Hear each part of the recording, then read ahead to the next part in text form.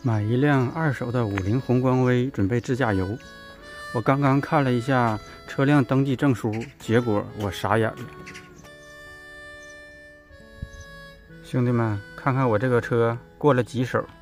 第一手，北京人梅娜娜；第二手，沈阳人刘英旭；第三手，鞍山人白春喜；第四手，崔乔；第五手。孙蕊，第六首王闯，第七首曾什么什么，最后一个，二零二四年五月七号，我的，到我手里已经八手了，八手的五菱宏光 V，虽然是八手的五菱宏光，但是它的里程只有五万四千，这八个人都没怎么开呀。五万四千，它这些整体来说 咋说呢？我倒不太嫌弃，它发动机没毛病就行。但是今天我又发现了一个小问题，它这个轮胎呀，前胎这个里边又裂口子了。我今天准备把它去换了，把前轮的两个胎给换了，后轮就那么地儿了，因为资金紧张了。这个左侧的前轮，我用五零二胶水粘上过，大家就劝我不要这么做。但是粘上，我感觉这个地方它没鼓包，可以用。但是今天发现右侧开始有口子了，它这个我就有点不太放心了，所以准备去换一下。整体来说，这辆车，唉。揪心呐！我本以为这个位置是鼓包了，兄弟们，结果就是掉个皮儿。那看来这个轮胎不用换了，还可以坚持坚持。这个皮儿，嗯，拽掉，就是一个小口，没事不换了。我在网上查了，这个转向。咯噔咯噔响，有可能是这个转向支臂那个球头松动了。我给它用千斤顶撑起来，然后晃一晃，看它有没有间隙。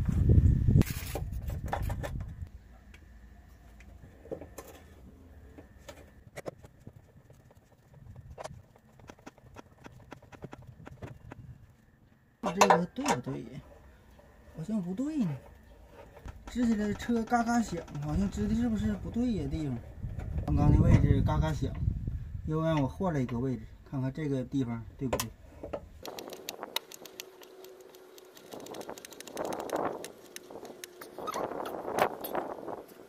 这车上有东西支不动啊？千斤顶啊，你不得一千斤都能顶下来？哎呦，还没离地吗？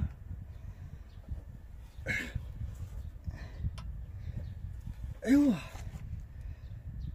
这都快直了，还没离地，那这前顶顶还够不够了？哎，这这也算是离地了吧？再来点，嘿，哎呦我的妈，我的妈！我的妈！离地了，离地了，再来点！哎呀，他手刹刹的不是前轮哈，后轮好像是手刹，前轮拉着手刹还转呢。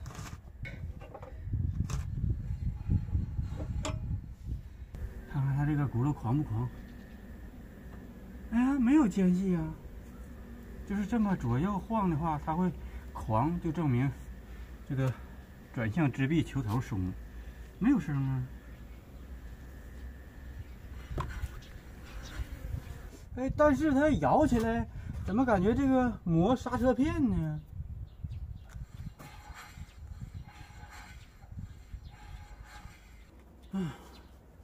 还好不狂。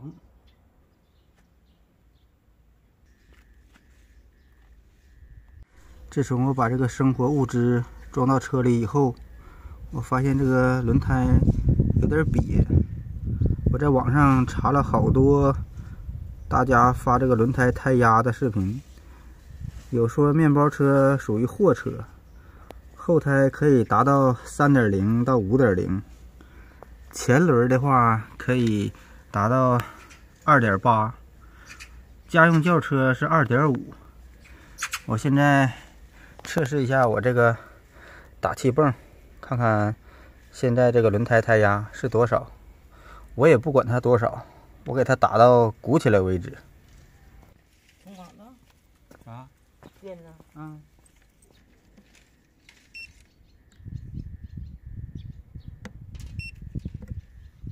零个胎压。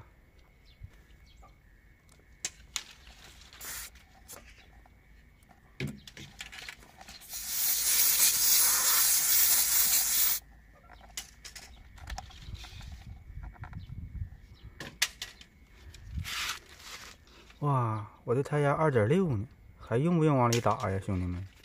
你后边打到三点零吧。他自己又蹦到二点七了，我都没打呢。给它调到，哎，三点零。先打个二点九吧，我怕打坏了。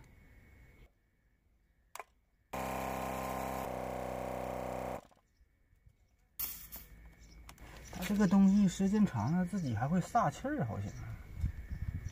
这车这边过不去啊，我把车往后倒一倒。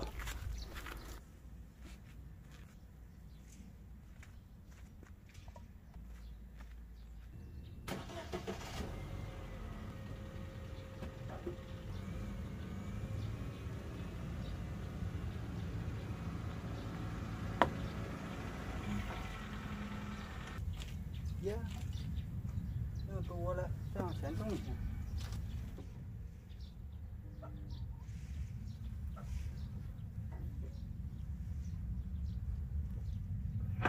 它这个车不启动的话，方向盘都打不动。咋的？它是电助力的，必须得起火才能打动方向盘。看看这边胎压是多少，也给它打到二点九。胎压你们都打多少？二点九的话，是不是有点多呀？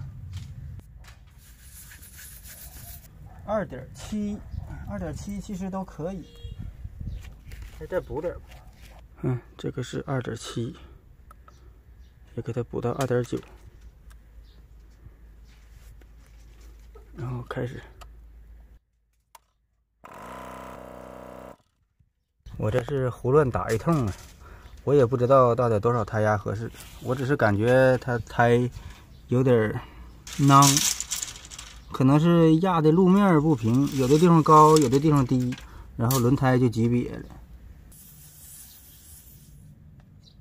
再试试前轮，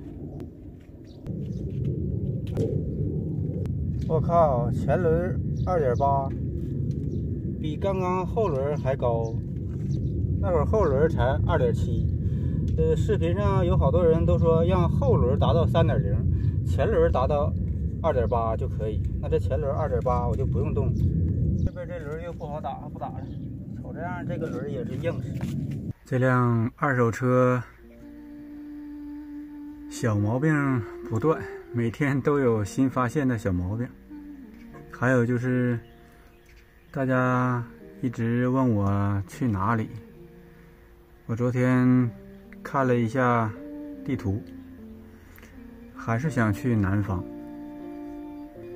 因为刷了好几个视频，说内蒙、新疆、西藏他们的国道都收费，往南去的话，可能国道收费站比较少吧，别说没有，少。这次我出发速度也不会很快。我骑自行车的时候，三个月到了安徽。我开车的速度估计会比骑自行车还要慢。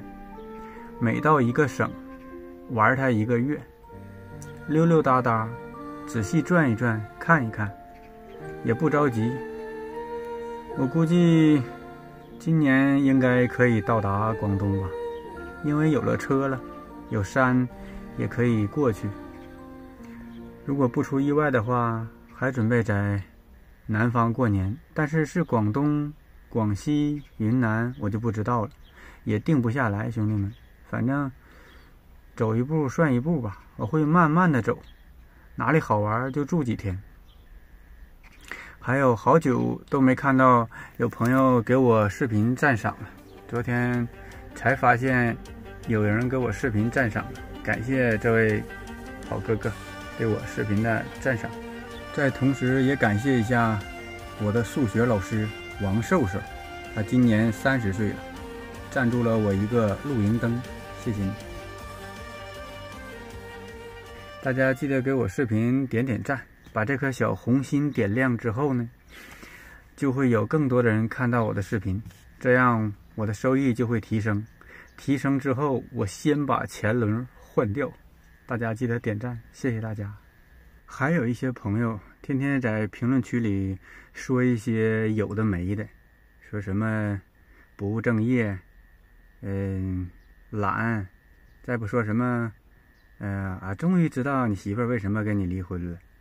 我到现在都不知道呢，你咋就能知道呢？咋的？你俩过上了？一天天的，你说你有那个闲工夫说这个说那个的，你好好学习学习，多学点知识。多赚点钱，把你那家过好啊！愿意看呢，咱就看一看；不愿意看呢，咱就划走。呸！你个破烂子，啥也不是。点加号，点红心，点箭头。